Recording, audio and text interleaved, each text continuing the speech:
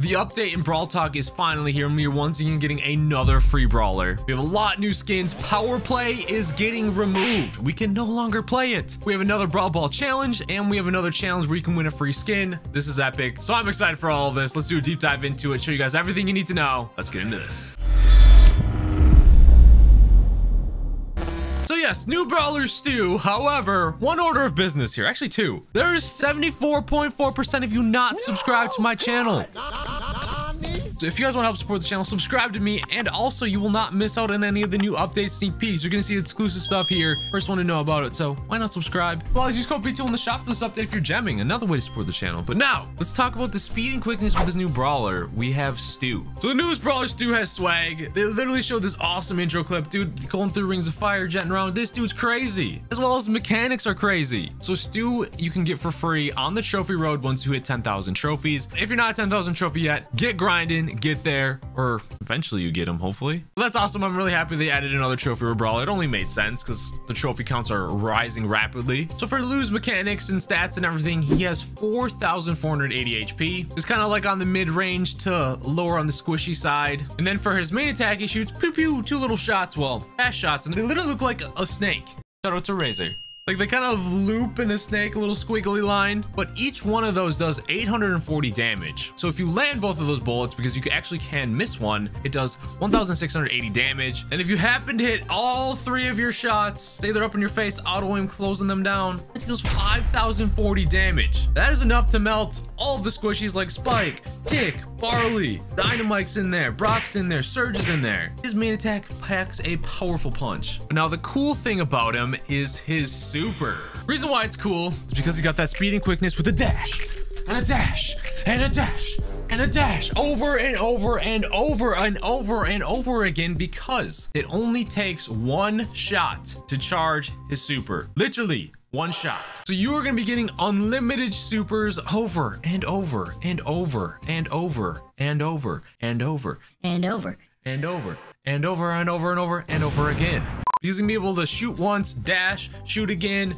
if you land your shots, dash, and just get crazy positioning. Another cool thing with his super, it leaves a fire trail behind him. It has a knockback to enemy brawlers. This means you can knock Frank out of his super, enemies that have the ball in Brawl Ball. That's insane. I assume it would deal damage if you hit the person head on, but they didn't specifically say that in the Brawl Talk, and we don't see any gameplay footage of that. So again, stay tuned. But that's just crazy. And I think that's gonna be such a fun mechanic to play. You can have so much mobility and so much like speed and quickness, dude. I love that. But then now for star power, you could see a shield in front of him. So I assume that's going to be one of his star powers similar to Colette, where you dash, you get some sort of damage reduction or shield. If I had to guess maybe for a second star power, I would like to see maybe like a momentary or a couple seconds speed boost after like you dash, you get extra movement speed for like a second or two. That would be really quick. Just increase mobility. For Gadget, I really don't know with this guy. Like so many options since he has fire on his dash that he leaves on the ground. Maybe he could like twirl and spin because he's like a daredevil. He's, he's a stunts person. Maybe he could like spew fire in like little puddles on the ground around him and then they maybe clear grass or something. And then another gadget idea I had is maybe you activate your gadget and your next super, you travel a lot farther. That would make for more epic, crazy plays in Brawl Ball. So I don't know. He's really interesting. I think he's, he's going to be amazing in Brawl Ball. Obviously, he's got a, he packs a punch, but he doesn't like instantly shoot all of his damage off. Looking at you, Colonel Ruffs, like, it's a little bit slower and his reload speed, it's, it's not like slow, but it's not fast. I think it's an average reload speed. So I don't know. It's tough to say like what other modes he's going to be solid at, but for sure Brawl Ball with the knockback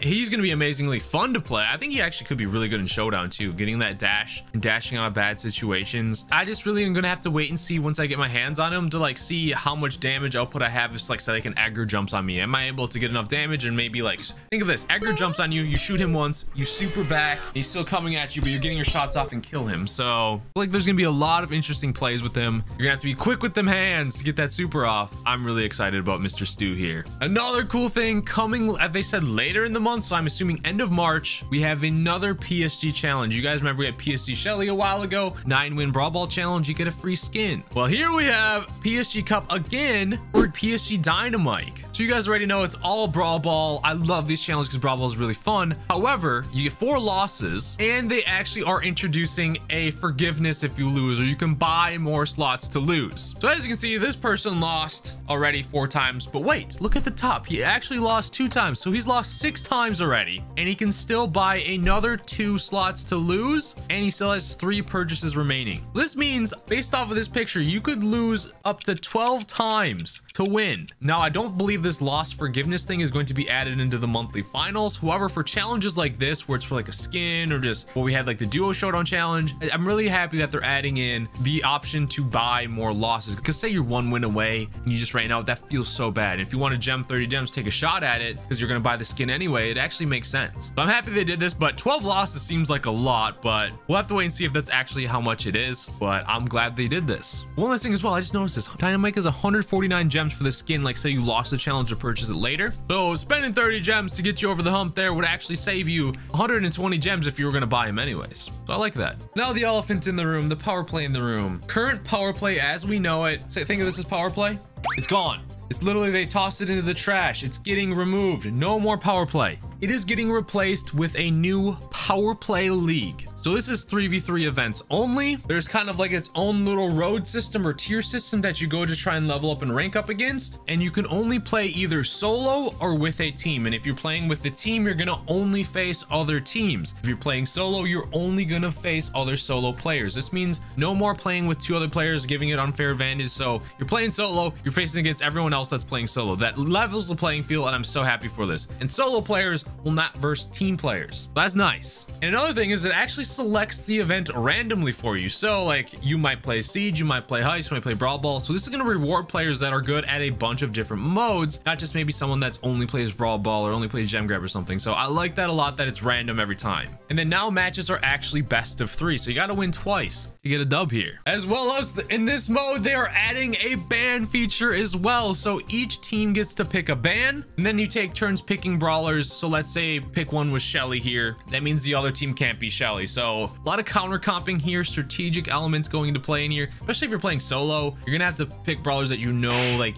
like say, I hate this brawler whatever. I think it probably is gonna come down to random who is the banner on your team if you're playing solo. Probably just comes down to luck as well as who gets picked first, but I'm really happy to see this in the game. You may be asking yourself, well, what's the incentive to playing this? Exclusive rewards are in here. You can see earlier they had little quest there where it says play 50 matches this season and you get an exclusive player icon. And then if you reach gold two, you get another exclusive player icon. So they have exclusive icons as well as they actually have exclusive skins like the smuggler penny here, which actually looks incredible. So that is really epic. But then another question would pop up, well, Ben, how do I get star points from this? As you play matches, as you rank up, you hit little different tiers where at the end of the season, you get a bunch of star points. The seasons are going to coincide with the Brawl Pass season, so they're going to be long seasons. So you can play as many matches as you want during the day or whenever. It doesn't matter. But if you lose, you kind of slowly go down the tier. If you win, you go up the tier. The harder opponents you beat, the more you go along the tier. And they didn't show it here in the Brawl Talk, but they said you have to get to a certain tier to be able to unlock Smuggler Penny for 25,000 star points. So I don't know where that is on the tier, but, once you get there, you get enough star points, you can actually unlock her. And I would assume this is exclusive for like season one. So Smuggler Penny after season, you probably will no longer be able to get it, which is nice because people were asking for exclusive rewards along these. So it incentivizes players to want to play, continue to play, especially when they have good skins like that. So that's what we know so far about this mode. I'll obviously do a huge deep dive into it, just explain everything in better detail once we are able to get our hands on it in the dev build. So again, stay tuned for those sneak peeks. One last thing too, you have to be at 4,500 trophies to unlock Power Play League. Now,